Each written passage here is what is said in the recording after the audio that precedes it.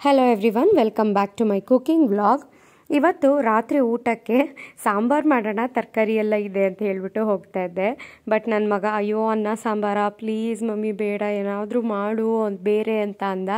So ಹಾಗಾಗಿ ಅಡುಗೆ ಸಾಮಾನು ತರೋಕ್ಕೆ ದಿನಸಿ ಅಂಗಡಿಗೆ ಹೋಗಿದ್ದಾಗ ನೂಡಲ್ಸ್ ತಂದು ಇಟ್ಟಿದ್ದು ನೆನಪಾಯಿತು. ಆಲ್ಮೋಸ್ಟ್ ಒಂದು ತಿಂಗಳಾಗೋಗಿತ್ತು ಅದು ತಂದು ನೂಡಲ್ಸ್ ಪ್ಯಾಕೆಟು. ಸೊ ತರಕಾರಿನೂ ಜಾಸ್ತಿ ಇದೆ. ನೂಡಲ್ಸ್ ಎಲ್ಲ ಮಾಡಿಬಿಟ್ಟೋಣ, ಎಲ್ಲ ತರಕಾರಿನೂ ಹಾಕ್ಬಿಟ್ಟು. ಕ್ಯಾಬೇಜ್ ಒಂದು ಇರಲಿಲ್ಲ. ಆ್ಯಕ್ಚುಲಿ ನೂಡಲ್ಸ್ಗೆ ಕ್ಯಾಬೇಜ್ ತುಂಬ ಚೆನ್ನಾಗಿರುತ್ತೆ. ಆದರೆ ಒಂದು ಕ್ಯಾಬೇಜ್ ತರಲಿಕ್ಕೋಸ್ಕರ ಅಂಗಡಿಗೆ ಹೋಗಬೇಕಲ್ಲ ಅಂತ ಅಂದ್ಬಿಟ್ಟು, ಇರೋ ತರಕಾರಿಲೇ ಮ್ಯಾನೇಜ್ ಮಾಡೋಣ ಅಂಥೇಳಿ ಇಲ್ಲಿ ನಾನು ಕ್ಯಾರೆಟ್ ಬೀನ್ಸ್ ಹಾಗೆ ಕ್ಯಾಪ್ಸಿಕಮ್ನ ತೊಗೊಂಡಿದ್ದೀನಿ. ಯಾವುದೇ ರೀತಿ ಇಂಡೋ ಚೈನೀಸ್ ಡಿಶ್ ಮಾಡಬೇಕಾದ್ರೂ ಕ್ಯಾಪ್ಸಿಕಮ್ ಇಲ್ಲ ಅಂದರೆ ಅದ್ರ ರುಚಿನೇ ಇರೋದಿಲ್ಲ. ಹಾಗಾಗಿ ಬೀನ್ಸು ಕ್ಯಾರೆಟ್ ಹಾಗೆ ಕ್ಯಾಪ್ಸಿಕಮ್ನ ಇಲ್ಲಿ ಕಟ್ ಮಾಡ್ಕೋತಾ ಇದ್ದೀನಿ.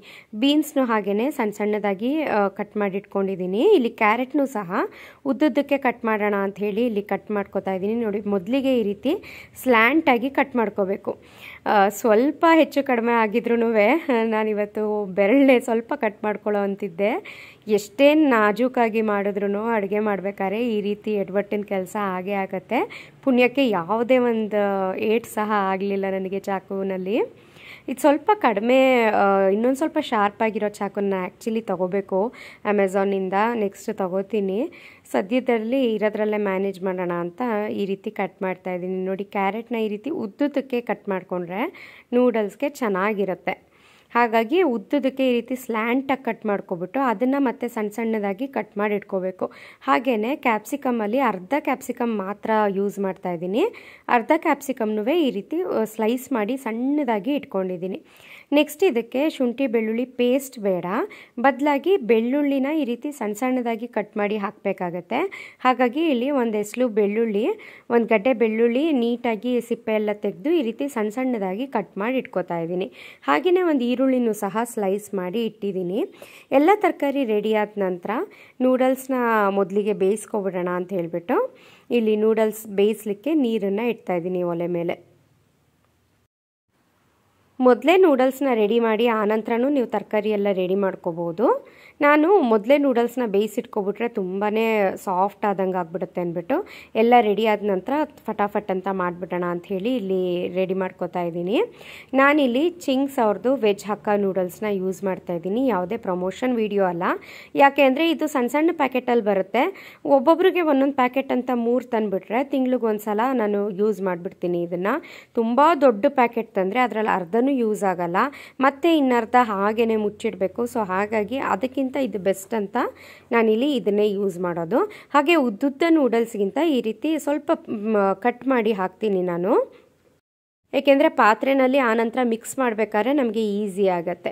ಈ ಕಡೆ ನೀರು ಸಹ ಕುದಿ ಬಂದಿದೆ. ಕುದಿ ಬಂದಿರೋ ಅಂಥ ನೀರಿಗೆ ಒಂದು ಮೂರು ಸ್ಪೂನ್ ಎಣ್ಣೆ ಹಾಕ್ಬಿಟ್ಟು ಒಂದು ಅರ್ಧ ಚಮಚ ಉಪ್ಪು ಹಾಕಿದ್ದೀನಿ ಅಷ್ಟೇ ಜಾಸ್ತಿ ಬೇಡ. ಹಾಗೆಯೇ ಇದಕ್ಕೆ ಪೀಸ್ ಪೀಸ್ ಮಾಡಿಟ್ಕೊಂಡಿದ್ದಂಥ ನೂಡಲ್ಸ್ ಏನಿದೆಯಲ್ಲ ಅದನ್ನು ಹಾಕ್ಬಿಟ್ಟು ಒಂದು ಎರಡರಿಂದ ಮೂರು ನಿಮಿಷ ಬಿಸಿ ನೀರಿನಲ್ಲಿ ಚೆನ್ನಾಗಿ ಕುದಿಸಿದ್ರೆ ಆಯಿತು. ಮೊದಲಿಗೆ ನಮಗೆ ನೀರು ಕಡಿಮೆ ಆಗಿದೆಯೇನೋ ಅಂತ ಅನಿಸುತ್ತೆ, ಬಟ್ ಕೆಳಗಡೆ ಇರೋವಂಥ ನೂಡಲ್ಸ್ ಎಲ್ಲ ಸ್ವಲ್ಪ ಸಾಫ್ಟ್ ಆದ ನಂತರ ಮೇಲಿರೋ ನೂಡಲ್ಸು ಸಹ ಅದು ನೀರೊಳಗೆ ಮುಳುಗಿ ನೋಡಿ ಈ ರೀತಿ ಬಿಡಿ ಬಿಡಿಯಾಗಿ ಆಗುತ್ತೆ. ಒನ್ಸ್ ಈ ರೀತಿ ಬಿಡಿ ಬಿಡಿ ಆದ ನಂತರ ಮುಚ್ಚಳನ ಮುಚ್ಚಿಬಿಟ್ಟು ಒಂದು ಎರಡು ನಿಮಿಷ ಬಿಸಿ ನೀರಿನಲ್ಲಿ ಹಾಗೆ ಬಿಟ್ಬಿಟ್ರೆ ಆಯಿತು. ನೂಡಲ್ಸು ಸಾಫ್ಟಾಗಿ ರೆಡಿ ಆಗಿಬಿಡುತ್ತೆ. ಈ ಸಾಫ್ಟಾಗಿ ರೆಡಿ ಆಗಿರೋವಂಥ ನೂಡಲ್ಸ್ನ ನೀರನ್ನೆಲ್ಲ ಬಸಿಲಿಕ್ಕೆ ಈ ರೀತಿ ತೂತಿನ ಪಾತ್ರೆ ಇರುತ್ತಲ್ಲ, ಅದಕ್ಕೆ ಹಾಕಿದ್ದೀನಿ ಅದನ್ನು ಹಾಕಿದ ತಕ್ಷಣ ಮೇಲ್ಗಡೆಯಿಂದ ತಣ್ಣೀರನ್ನು ಹಾಕ್ಬಿಡ್ಬೇಕು. ತುಂಬ ಬಿಸಿ ನೂಡಲ್ಸ್ ಇದ್ದರೆ ಮತ್ತು ಅದು ಇನ್ನೂ ಸಾಫ್ಟ್ ಆಗ್ತಾ ಹೋಗ್ಬಿಡುತ್ತೆ, ಬೆಂದ್ಕೊಂಡು ಒಂದಕ್ಕೊಂದು ಅಂಟ್ಕೊಂಡಂಗೆ ಆಗ್ಬಿಡುತ್ತೆ.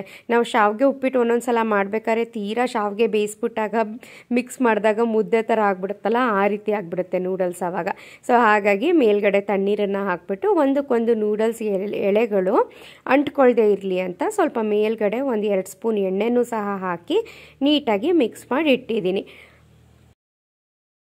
ಇವಾಗ ನೂಡಲ್ಸ್ ಮಾಡೋದಕ್ಕೆ ಸ್ಟಾರ್ಟ್ ಮಾಡೋಣ. ಪ್ಯಾ ಒಲೆ ಮೇಲೆ ಒಂದು ಅಗಲವಾಗಿರುವಂಥ ಪ್ಯಾನ್ ಇಟ್ಟು ಇದಕ್ಕೆ ಒಂದು ನಾಲ್ಕರಿಂದ ಐದು ಟೇಬಲ್ ಸ್ಪೂನ್ ಎಣ್ಣೆ ಹಾಕಿ, ಮೊದಲಿಗೆ ಬೆಳ್ಳುಳ್ಳಿ ಏನು ಕಟ್ ಮಾಡಿ ಇಟ್ಕೊಂಡಿದ್ನಲ್ಲ ಅದನ್ನು ಹಾಕಿ ಜಸ್ಟ್ ಒಂದು ಎರಡು ನಿಮಿಷ ಅಷ್ಟೇ ಫ್ರೈ ಮಾಡಬೇಕು. ಹೈ ಫ್ಲೇಮ್ನಲ್ಲೇ ಫ್ರೈ ಮಾಡಿ ತಕ್ಷಣ ಇದಕ್ಕೆ ಒಂದು ಈರುಳ್ಳಿ ಸ್ಲೈಸ್ನ ಹಾಕಿದ್ದೀನಿ. ಇದನ್ನು ಒಂದು ಹತ್ತು ಸೆಕೆಂಡ್ ಫ್ರೈ ಮಾಡಿಕೊಂಡ್ರೆ ಆಯಿತು.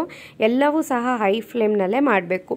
ಈರುಳ್ಳಿ ಹತ್ತು ಸೆಕೆಂಡ್ ಫ್ರೈ ಆಗ್ತಾ ಹಾಗೆ ಕಟ್ ಮಾಡಿ ಇಟ್ಕೊಂಡಿದ್ದಂಥ ತರಕಾರಿಗಳು ಹಾಗೆಯೇ ನೂಡಲ್ಸ್ಗೆ ಎಷ್ಟು ಬೇಕೋ ಅಷ್ಟು ರುಚಿಗೆ ತಕ್ಕಷ್ಟು ಉಪ್ಪನ್ನ ಹಾಕಿ, ಇದನ್ನು ಅಷ್ಟೇ ಹೈ ಫ್ಲೇಮ್ನಲ್ಲಿ ಒಂದು ಮೂರು ನಿಮಿಷ ಫ್ರೈ ಮಾಡಿ ಅಷ್ಟೇ ತುಂಬ ಸಾಫ್ಟ್ ಆಗಬೇಕು ಅಂತೆಲ್ಲ ಏನಿಲ್ಲ. ಜಸ್ಟ್ ಒಂದು ಎರಡು ಮೂರು ನಿಮಿಷ ಫ್ರೈ ಮಾಡಿ ತಕ್ಷಣವೇ ಇದಕ್ಕೆ ಒಂದು ಸ್ಪೂನ್ ಆಗುವಷ್ಟು ಡಾರ್ಕ್ ಸೋಯಾ ಸಾಸ್ನ ಹಾಕಿದ್ದೀನಿ.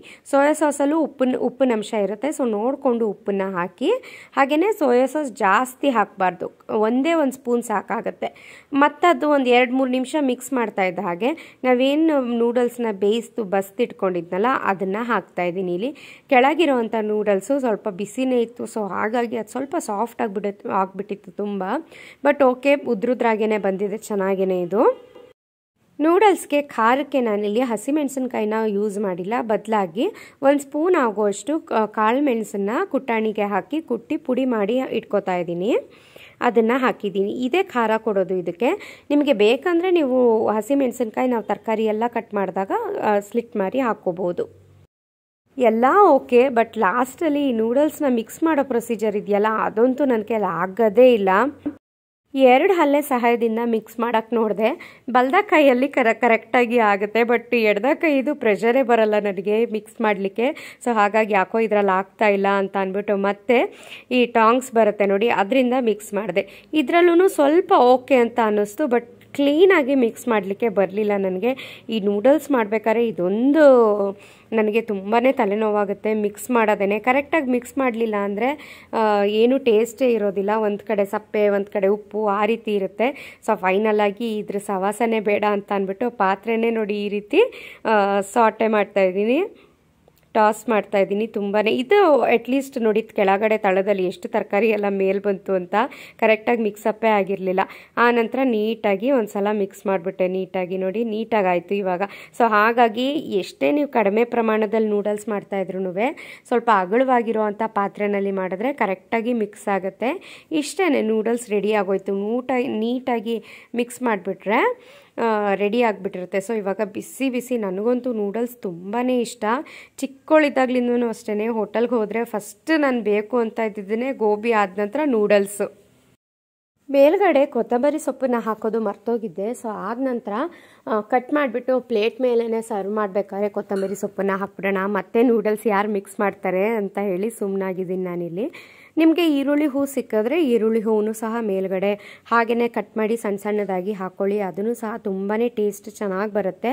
ಇಲ್ಲಿ ಬರೀ ನಮ್ಮ ಮನೆಯಲ್ಲಿ ಈರುಳ್ಳಿ ಹೂವೆಲ್ಲ ಏನೂ ಇರಲಿಲ್ಲ. ಹೇಳಿದ್ನಲ್ಲ ಕ್ಯಾಬೇಜ್ ಸಹ ಇರಲಿಲ್ಲ. ಹೋಗಿ ಯಾರು ತರ್ತಾರೆ? ಮೊದಲೇ ಆರು ಮುಕ್ಕಾಲು ಟೈಮ್ ಆಗೋಗಿತ್ತು. ಅವನಿಗೆ ಬೇರೆ ಓದಿಸ್ಬೇಕಾಗಿತ್ತು. ಹಾಗೆ ಅಲ್ಲೇ ಅಡುಗೆ ಮನೆಯಲ್ಲೇ ಕೂರಿಸ್ಕೊಂಡು ಓದಿಸ್ತಾ ಇದ್ದೆ ಅವನಿಗೆ. ಹೋಗಿ ಬಂದು ನಾನು ಮತ್ತೆ ಅಡುಗೆ ಮಾಡೋ ಅಷ್ಟರಲ್ಲಿ ಲೇಟ್ ಆಗಿಬಿಡುತ್ತೆ. ಇರೋದ್ರಲ್ಲೇ ಮ್ಯಾನೇಜ್ ಮಾಡೋಣ ಅಂತ ಹೇಳಿ ಮಾಡಿದೆ.